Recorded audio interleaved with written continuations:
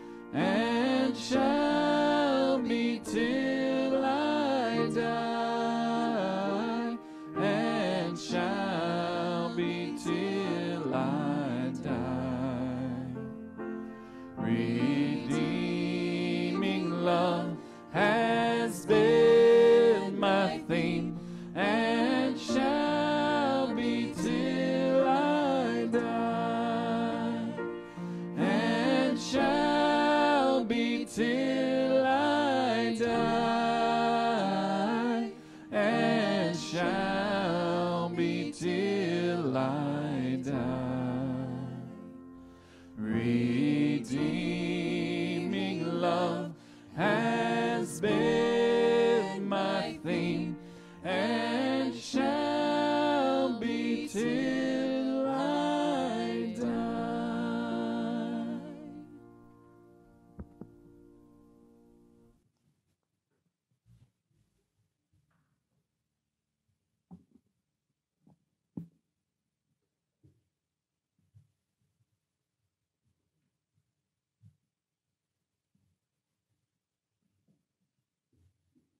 All right.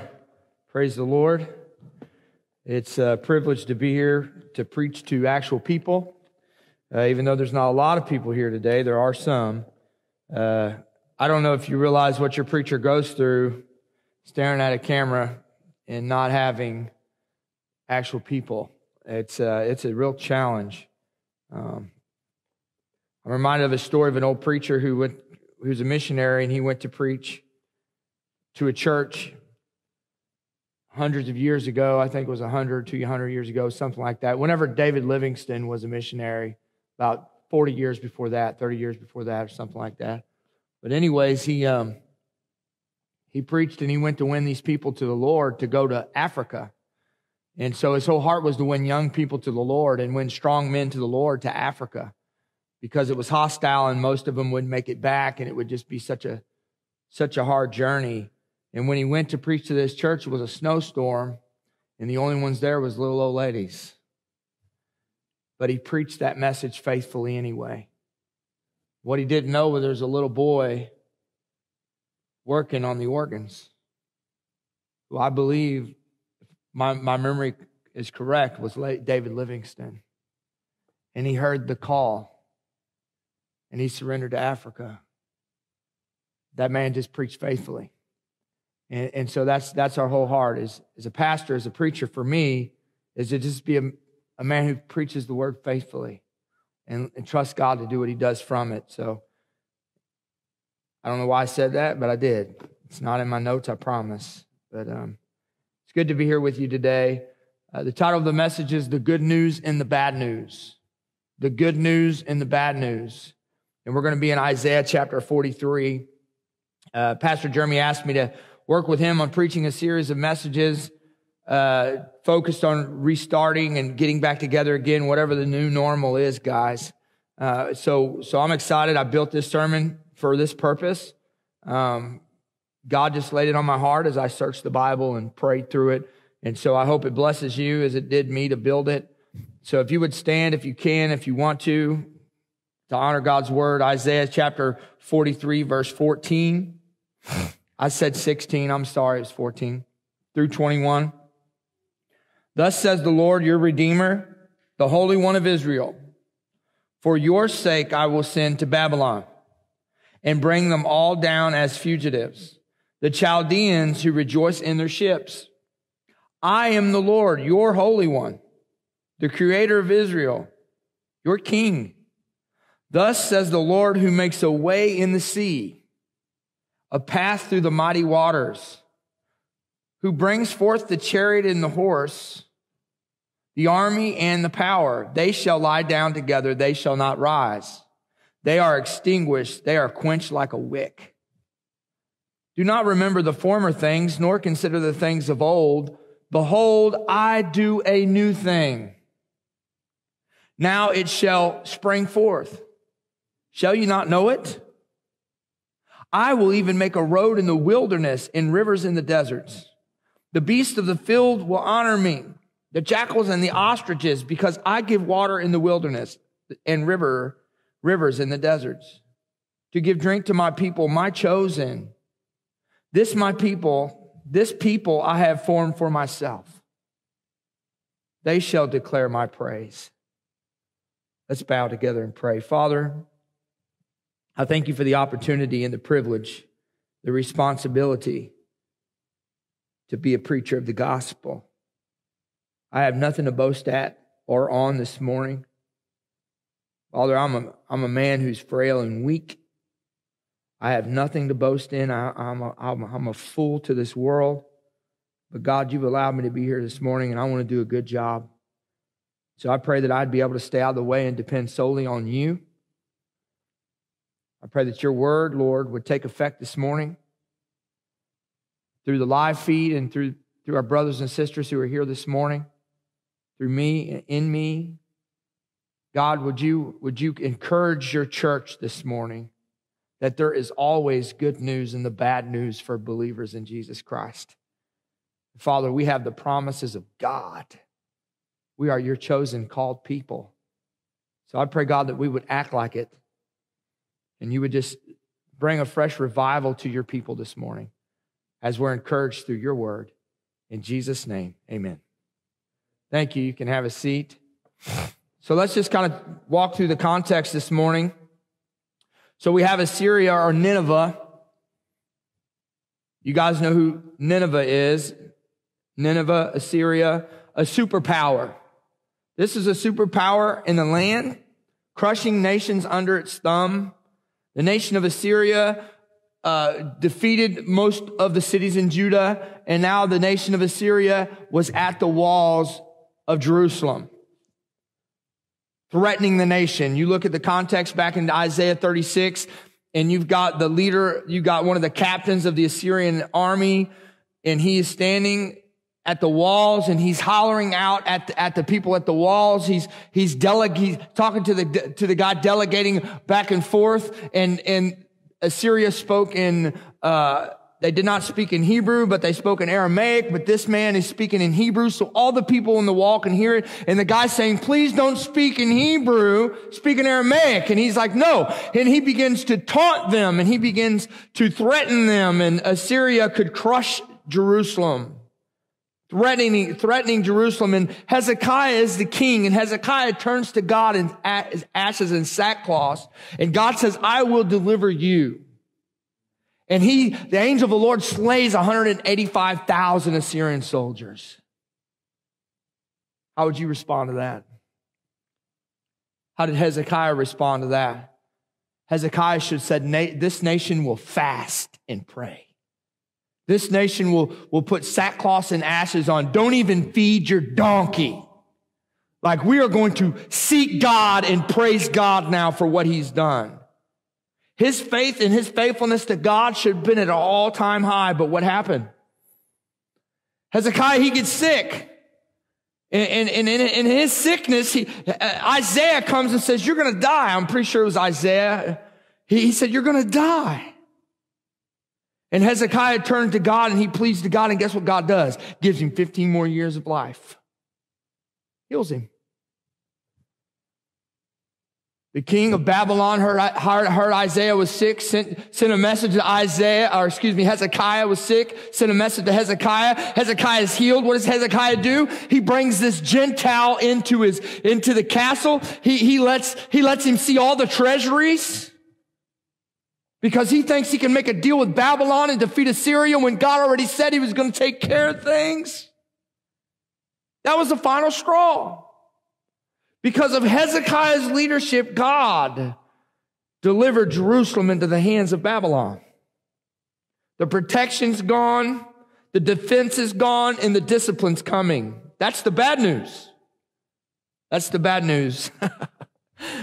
Not only is the nation in trouble because of leadership, but the nation is in trouble because God's people had walked away from God. God's people did not want to hear God's word. God's people didn't want the seers to see or the prophets to prophesy. It says in Isaiah that God's people wanted to hear smooth things. Isaiah 30 verse 9, for they are rebellious people, lying children, unwilling to hear instructions from the Lord who say to the seers, don't see, to the prophets, don't prophesy to us what is right. Speak to us smooth things and illusions. After all of the favor God showed these people, they rejected him. Hezekiah was healed, delivered, protected. And instead of finding security in his God, he found security in schemes in the nation of Babylon. Have you ever heard somebody say, I've got good news and bad news? Which one do you want first? Right? Today, Isaiah has bad news, but good news in the bad news. Isaiah is preaching God's word. He lets Hezekiah know that, that his sons who should have been kings will now be eunuchs in Babylon. I don't know if you know what they did to eunuchs. I won't go into that, but they weren't going to have kids. It was over. Isaiah lets the people know that they're going to be taken into exile now. Bad news. They'll be captives. The good news is that God will deliver them from exile. The good news is God will have mercy on them in the end. The good news is God will not leave them in discipline, but he will bring them back and he will perform another exodus. Look at chapter 43, verse 16 and 17. He says, Thus says the Lord who makes a way in the sea and a path through the mighty waters, who will bring forth the chariot, who brings forth the chariot and the horse, the army and the power. They shall lie down together and shall not rise. They are extinguished like a they are extinguished. They are quenched like a wick. What is he saying? God is saying this very simply. He is saying that Babylon's in his hands. He is saying that Babylon is his puppet. Assyria is his puppet. He's in control of our enemies even. That God is not surprised by what's going on. That no, Assyria, even though God is using them to discipline his people, he'll punish them for what they do. He's sovereign. He's in control. Man, that's good news. I'm reminded while reading this book of the grace of God. God in his anger remembers mercy for us. How is it that God can continue to forgive and deliver such stubborn people as you and me and these people that don't deserve it? Please don't think for a second that you deserve God's grace. Please don't think for a second that you're better than a lost person. God saved you. He called you. He chose you. You came under conviction and responded to that conviction. God blessed you but you don't deserve it. And I don't deserve it. That's the grace of God. I don't understand it. it's a mystery. If anyone tells you they understand the sovereignty and the grace of God and salvation from God, they are lying. It is a mystery. So what's the good news for the church today? And, and we can apply this truth to our life. I believe that. The good news is God did it before. He can do it again. Man, that's good news. The bad news is you're going into exile. The good news is God did it before. He'll do it again. He's going to bring you out of captivity is what he's telling the people. Imagine Hezekiah. He's sitting on the throne. He's thinking about the situation. He's sure to die. God delivers him. God heals him. The Bible says he gets 15 more years of life. He turns to God in prayer. God answers his prayer. That's in Isaiah 38. Then the enemy comes, the enemy's more stronger than him right before that, and he's at the walls taunting him. He's saying, your God can't deliver you. The gods of the Egypts, Egyptians didn't deliver them. These other nations didn't deliver them. But matter of fact, if you surrender to Assyria now, we'll give you horses and land and we'll take care of you. Just leave the city. Come with us. God promised to take care of the enemy and God defeated the enemy. Hezekiah witnessed everything. And how did he, how did he respond to that? He trusted in Babylon for protection. All of a sudden, Hezekiah got amnesia and forgot what God has already done in the past. I thought to myself, what would I say if I could jump in history and talk to Hezekiah at that moment in time? Do you ever think that way when you read the Bible? What if I could just jump in there and just tell him something right now? I would say, Hezekiah, God has delivered you before, he'll deliver you again. Hezekiah, God saved you before, God will save you again. Hezekiah, God made a way before, he'll make a way again. Hezekiah, stop trusting in men, governments, and even yourself to do what only God can do. Right now, there are people in this church and in churches all over the world that are trusting in doctors instead of God. They're trusting in fake news instead of the good news. They're trusting in face mask instead of the Holy Spirit of God. They're trusting in home remedies and everything else, but God who will deliver. Yes, I'm not saying don't go to doctors. I'm not saying don't wear face masks. I'm not saying don't wear gloves. I'm not saying that, but listen, don't trust those things more than you trust your God. Have you forgotten what God has done in the past? He can do it again. I'm talking about your past. What's he done for you? Do you remember? Man, God is bigger than the COVID 19 virus. God is bigger than addiction. God is bigger than a stay at home order. God is bigger than your relationship issues. God is bigger than, than, than, the, than, the, than the city ordinances. God is bigger than this church building. We don't need the walls of the church to be the church, friends. And, I'm just, I'm being honest. This may get me in trouble, but that's who our God is. He does what he wants. He does a new thing. He does it his way. Listen, just because we get quarantined doesn't mean our Christianity has to be quarantined.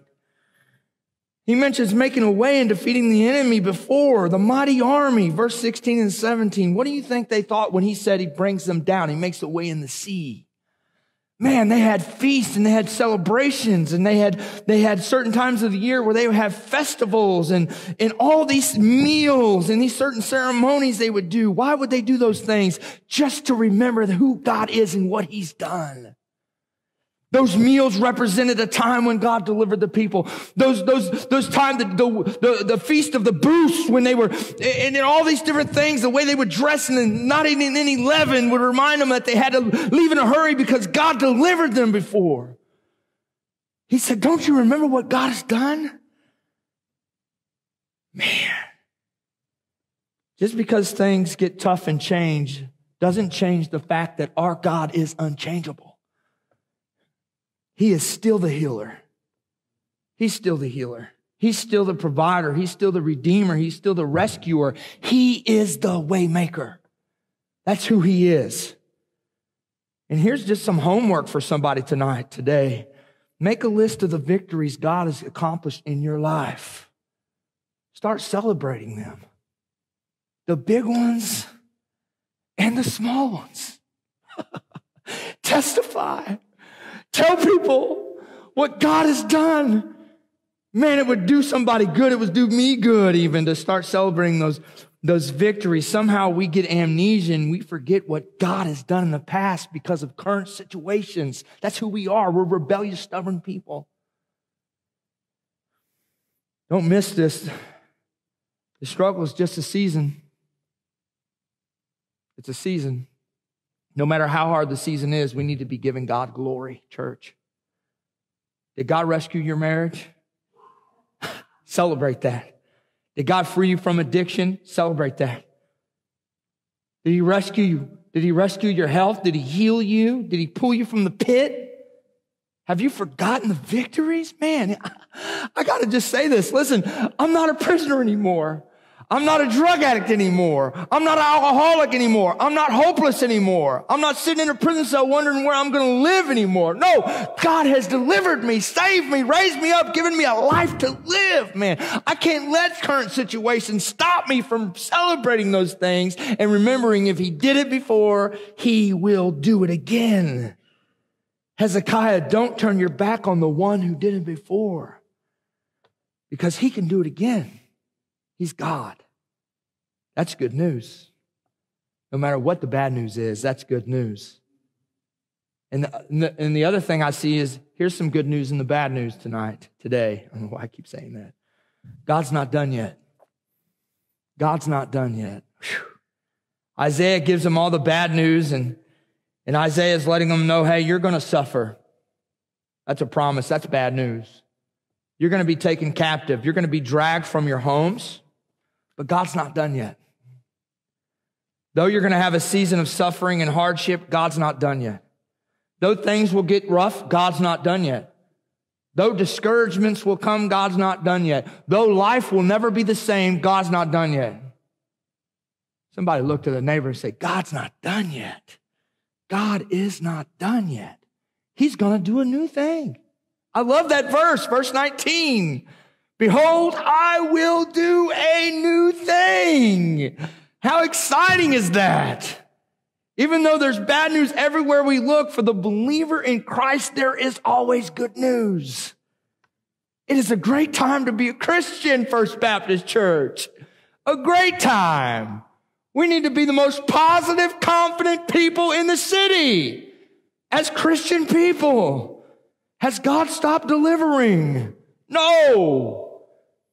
He keeps on delivering. Listen, he's going to deliver. He's going to continue to deliver today. He's going to continue to deliver tomorrow because that's who he is. Has God stopped making a way? No. He's the waymaker. He's going to do it again and again and again because that's who he is. Has God stopped redeeming, rescuing, saving, freeing, defending? Some of us act like God has stopped doing this. God's hand's not tied. Man, he's, he's not done yet. To this people, this message during the reign of Hezekiah, he, he's given the message and he delivered the captives before Hezekiah. He's going to do it again. He defeated the enemies before Hezekiah. He's going to do it again. He made a way before. He'll make a way again because he is not done yet. I ask myself, why would God be so faithful to an unfaithful people? You ever ask yourself that question? Man, I've had a rough week. Somebody saying to me today, my prayer life's in the dirt, man. Why is God still so faithful to me? I've lost my patience with my, my kids at home this week. Why is God so patient with me? Why is He still blessing me? I'm going to tell you why, and somebody might get mad at me for this, but that's okay. Because God made a covenant and He cannot lie. Verse 21 This people I have formed for myself. Friends, God's not faithful to you because you're faithful to Him. Now, somebody doesn't like that statement. God is not faithful to you because you're faithful to Him. Yes, God blesses obedience. God stands against disobedience. That's not what I'm saying. He is faithful to you because He called you he chose you, He saved you, and He made promises to you in His word, and He cannot lie. To, today, hold God at His word, hold God at His promises, claim God prom, promises, pray God's promises back to God, trust in God's word, not because you're faithful, but because God is faithful, regardless of your faithfulness. Listen, I've read the end of the book. I know what happens, and it doesn't change because of my faithfulness. God doesn't stop being God, the unchangeable, immutable God because of me. That would make him unholy, not holy. He is different and separate from anything else. That's who he is.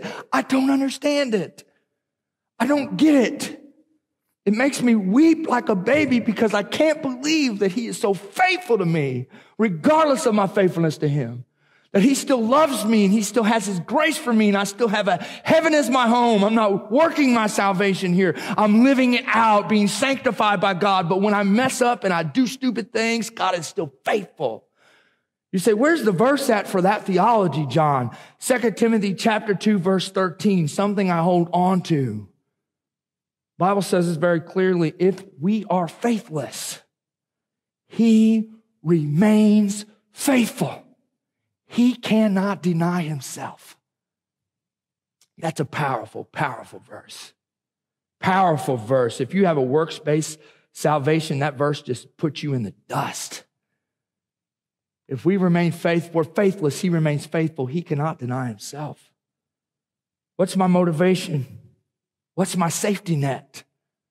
What happens when my safety net's gone? What happens when I suffer? What happens when hardship comes? God promises hardships. God promises suffering. That's bad news. God promises his people will die, that we will have loss, we will have pain, that some of us will be killed for his glory. That's God's word. My motivation cannot be the lack of suffering, the lack of hardships, the lack of death, the lack of loss, the lack of pain, the lack of none of that. My motivation has to be one thing, the faithfulness of God. God is faithful regardless of me. That is my motivation. I have a faithful, holy, merciful, sovereign, all knowing, immutable God that cannot lie, That's my faithfulness. That's my motivation today. It's Him, His Word. My motivation must be God's faithfulness over everything I endure in my life. That's how you have a victorious Christian walk. You claim His Word. Hold on to His promises, even though they're past your understanding and you don't get it. God's not like you, and He's not like me. He's holy, different. The things God's done in the past is solid evidence God could do it again. But I don't live in the past. I can't live in those victories because God's going to do a new thing. Man, I want to be a part of that new thing. I want to be a part of the new delivering and the new saving and the new working and all the new things God is going to continue to do, guys. He's not stopped that. He's still the rescuer, guys. Please listen to me. God will finish what he starts. That is good news. God will finish what he starts. The big question is this can God be stopped? Why are we on this conspiracy theory stuff everywhere, guys? Why are we running around trying to figure this and that out when we have this?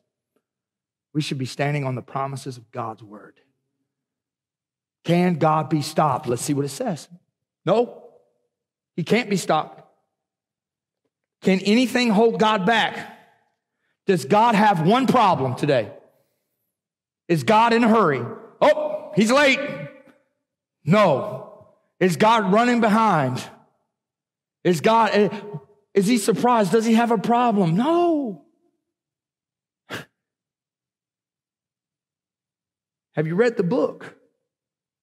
Watch how it ends. It's going to be the same no matter what happens right now. That's who he is. There's no opposition for God. There's no nation out of his control. The Babylonians, the Assyrians, uh, they're all in his hands. The whole world, as the old song says. There's no disease God cannot cure. Some of us act like God has left the building because we can't meet in the building. I'm just going to say this, and this, this can get me some real trouble, but God's bigger than a church building. Don't let these four walls hold you back. Just because we can't come and meet here doesn't mean that God has stopped. The house church was the very beginning how God, God moved through those house churches in the book of Acts. Guys, we need to be aggressive for the gospel right now more than ever. Christianity is not stuck in the church building. The Red Sea didn't stop God. The Bible says in Isaiah 43, 16, thus says the Lord who makes a way in the sea and a path in the mighty waters. That's who he is, guys. Hostile people won't stop God. Isaiah 43, 17. Who brings forth the chariot and the horses, the army and the warrior? They lie down, they cannot rise, they are extinguished, they are quenched like a wick. God is basically saying, I'm using Babylon as a, as a discipline for you. I'm in control of them. I'm in control of their leader, like I was in control of the Pharaoh. And they're gonna get you and they're gonna take you and then I'm gonna get you back and I'm gonna discipline them for what they did. That's basically what he's saying. Everything is in his control. Christian people, we should be the most confident of all people on the planet because God will finish what he started. Philippians chapter 1 verse 6, being confident of this very thing that he who has begun a work in you will complete it. It's all him until the day of Jesus Christ. What do we do in the midst of a pandemic? What do we do in the midst of madness and running to and fro, everybody around us, everything falling apart, we praise God. We glorify God. We witness for the Lord until he chooses to call us home. God has a plan that cannot be stopped. And for those who belong to him, we can always rejoice in the bad news.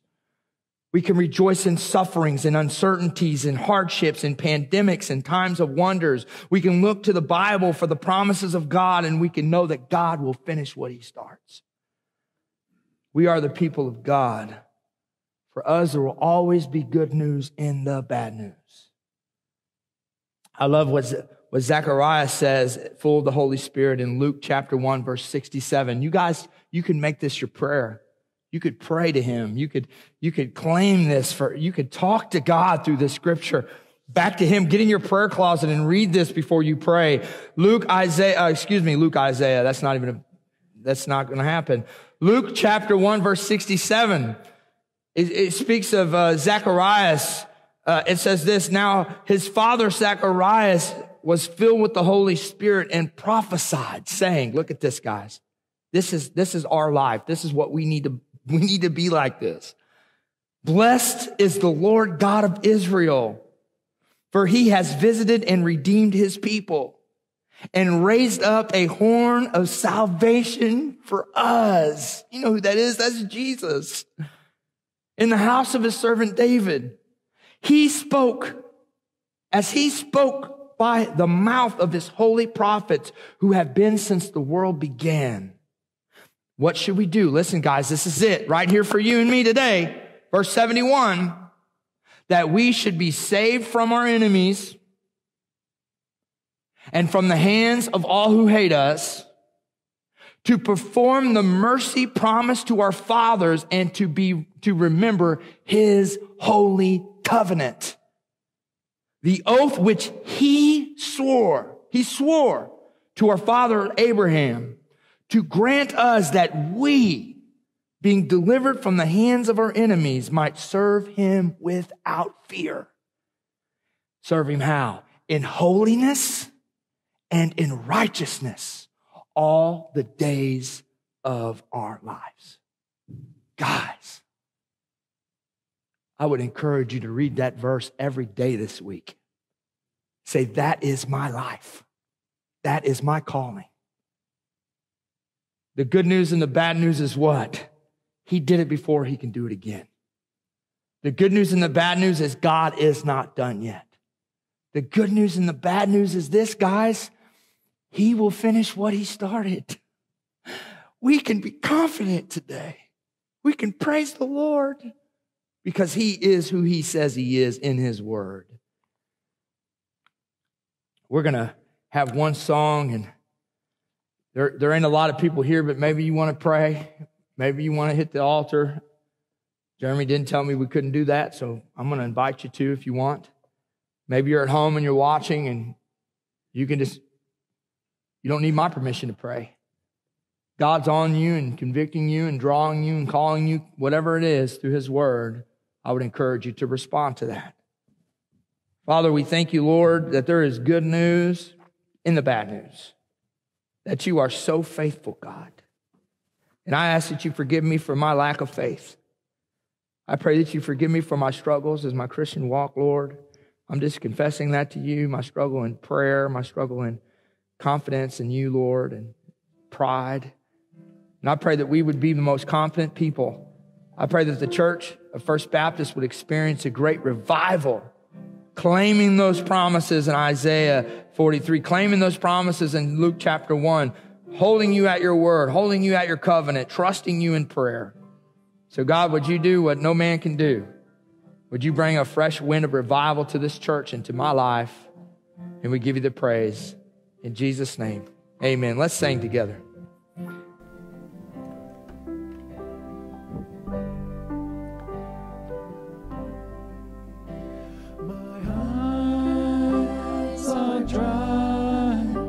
My faith is old, my heart is hard,